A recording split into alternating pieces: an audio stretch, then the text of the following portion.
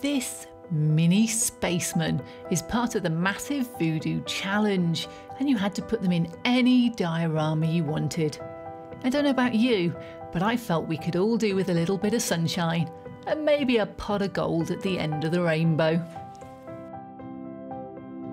I designed the pot of gold myself, starting off in Fusion 360 before moving to Blender because I wanted to add all the coins.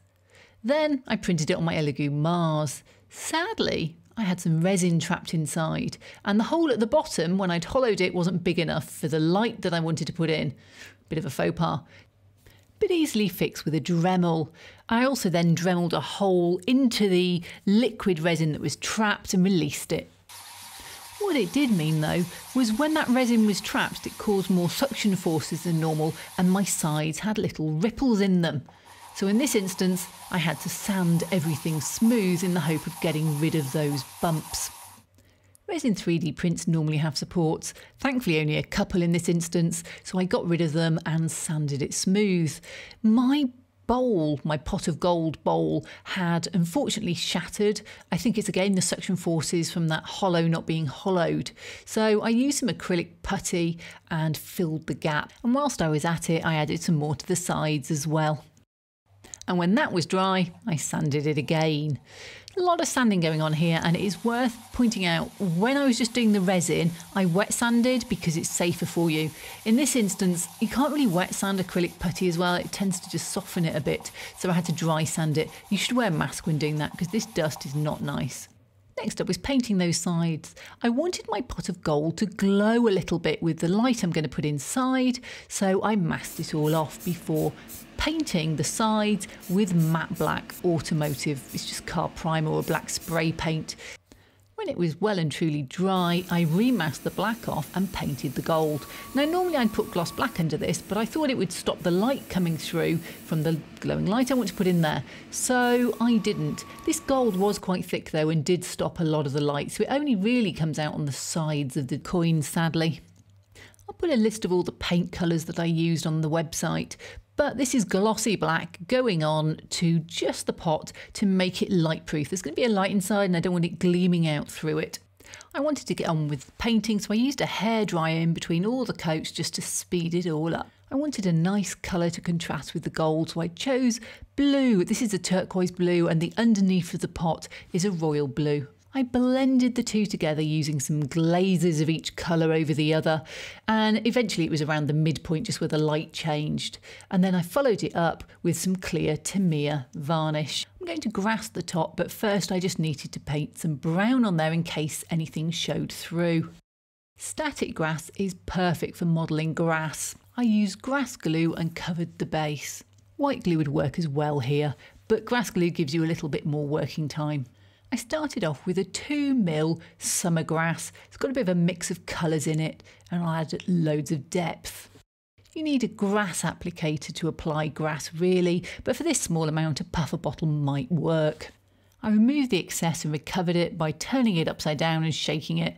You can still see there's some glue left in there, but I wanted clumps of the longer grass, so I used a brush to dab on more glue.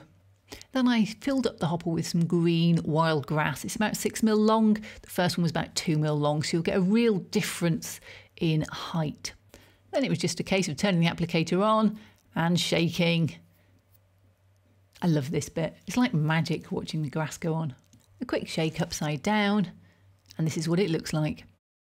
I touched up a few bits where I could do with a little bit more glue, especially on the corners and edges. I still felt it was lacking some longer grass around the pot, so I just kept adding layers until I was happy. And I added yet more clumps of the shorter grass around the edges too, and I called it done.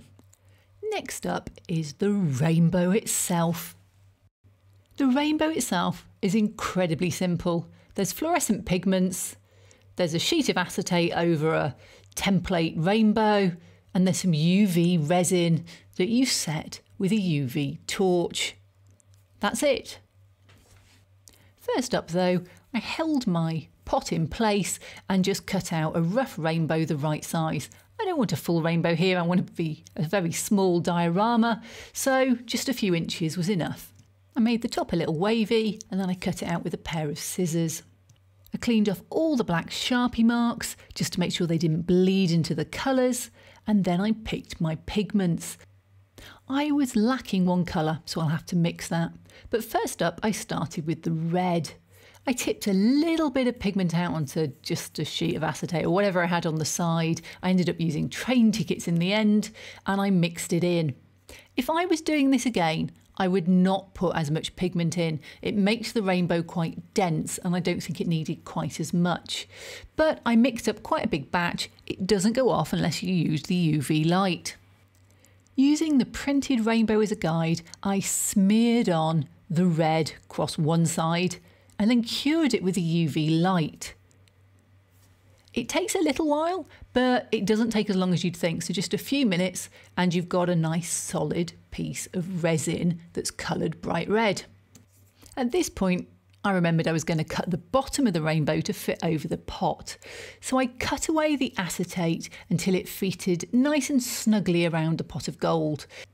The rainbow actually remains removable, so it doesn't have to be that tight. And we are going to put the rainbow splash at the bottom as well, which will help fill in any gaps. Then I repeated the process for the other side of the acetate so that I've got red mixed UV resin on both sides. I then did the purple violet colour on the other side.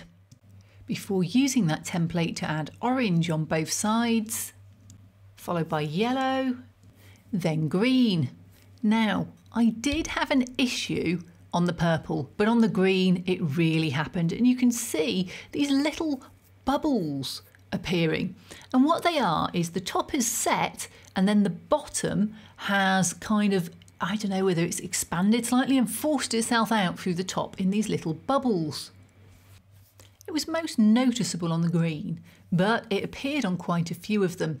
I think next time I'd probably put slightly less pigment in and that might well get rid of the issue. I didn't have much choice so I carried on with the blue.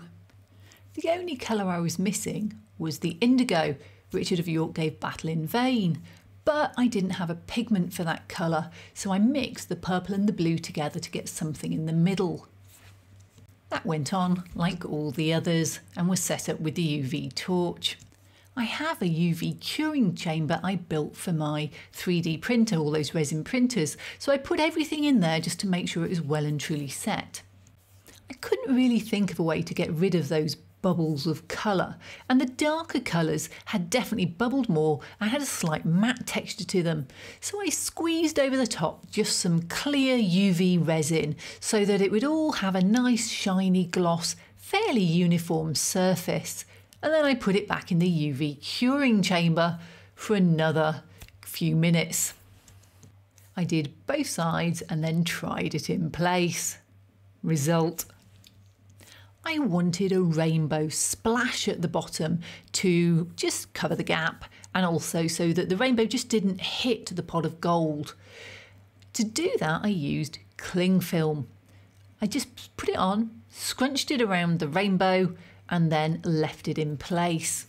At this point, I could actually remove the rainbow so that I could put all the messy resin on without getting any on my pot of gold. Now, I already had quite a lot of the resin left over. It doesn't go off without UV light, so if you keep it somewhere dark, you can keep using it for ages. And I wanted it to be slightly lighter so that those bits of the um, rainbow that have been quite heavy weren't quite as dark this time. So I just mixed in some extra resin and put it on to the cling film. At first, I tried adding all of the colours so that they just run into each other slightly, but they actually just ran downhill and it didn't look that great. Make sure I didn't get any resin where I didn't want it, I put a thin sheet of cling film over the pot and then just put my rainbow in place and turn on the magic UV light that will set it. Then I thought, oh, I'm about to set all my resin around the outside. So after this, I took it away from all those little resin pots of colour and made sure I kept it separate when I was shining UV light around.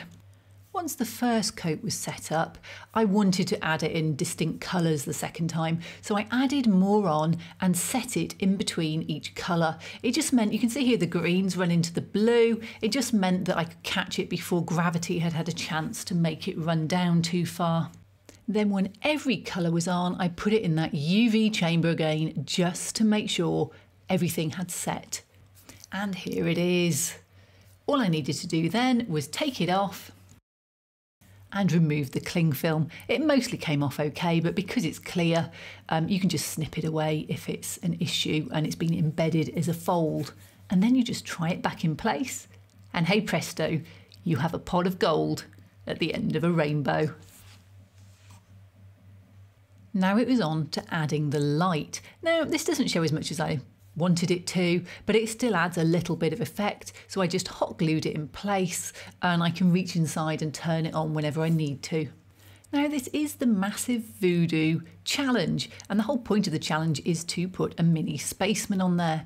So, I had three mini spacemen, and there's three videos with different dioramas on, and each of them have treated exactly the same. I cleaned them up. They were resin cast that I bought from Mr. Lee's Minis, and they just needed their feet cleaning up, a little bit of cleaning up around the bottom, I hate to say, and around the feet where the supports had been. And then they were very, very nicely cast. So a little bit of scraping with a knife, a little bit of filing, a little bit of putty, and they were ready to paint. But first, we needed some arms. So I clean them up a little bit on the sprue because it's easier before cutting them off, filing them a bit more, and then super gluing them in a suitable pose, which was pointing in excitement at the pot of gold. Sadly, my gluing wasn't very elegant, so I had to fill the gaps with some more acrylic putty, wait for it to dry before filing and scraping it smooth. Then finally, it was on to painting. I used Tamiya Fine Surface Grey Primer, followed by Vallejo Model Colour White and Black Grey. I did use this gloss back, I'll come back to that in a minute, but as soon as I started painting the white, I realised I could have saved myself five coats of paint just by spraying it with a white primer, not a grey primer. Lesson learnt. Once I built up the white, I moved on to layers and layers of grey. Now I started with the darkest colour and went light, and I started fairly thick and then got thinner as time went by. Now I don't normally paint shadows, but in this instance I felt I had to. For a start, it is a miniature painting challenge, and secondly, I'm putting them in quite a fixed diorama. If you come from a railway background like me and you don't really paint miniatures, you don't put light shadows on because your trains move all the time. So you paint them the colour they are in reality and allow your layout lighting to provide the shadows. That's what I've got used to. So this was still trying this new technique of painting shadows and highlights. For the thinner coats, I moved on to adding matte varnish rather than water. If you over dilute acrylic paints, they don't really set properly and you can end up with a lot of problems. So the final few coats were just neat white, but diluted with the matte varnish. And I just felt they were looking a bit grey and grungy. So I went through and just lightened everything up with the white. And you can see when you compare him to his friend who hasn't been whitened yet, who's on the right, that it has made him a lot brighter. Now I needed to fix those gloss varnish helmets. They just didn't stick. And it's a Vallejo paint. I don't know why it didn't stick. So I went for black Tamiya this stuff's amazing and it's gloss straight off and I just love the way Tamiya sets solid. So I went through and redid the black paint. I wanted to paint the gold reflection so I used the same Alclad lacquer. This is not easy to brush paint. I also put some on his tummy. Again, not easy to brush paint. It just flash dries far too quickly. So I ended up diluting it a lot with lacquer thinners and just putting some pale amounts on. I'm not sure it worked. I'm not sure gold was the right colour, but it does reflect what's in front of him. To make the visor as glossy as possible, I used Tamiya Clear and just put a coat over the top. Finally, I used some tacky wax to put him in place. Then it was just a matter of taking the photos.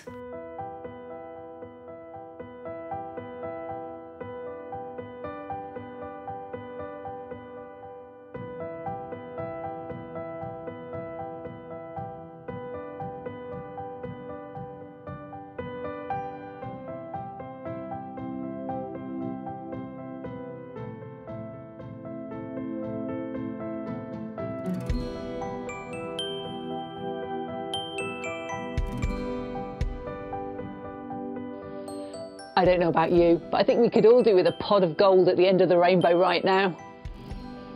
this guy certainly found his treasure trove. If you enjoyed it, you know the drill. Subscribe, hit the bell button, check me out on Patreon, pop over to the shop on the website. You hear it at the end of every video. We still appreciate it when you do it. Otherwise, see you next time.